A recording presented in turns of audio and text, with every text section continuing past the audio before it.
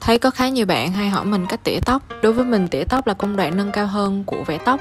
Và để vẽ tóc tốt các bạn cần xác định mình muốn vẽ gì.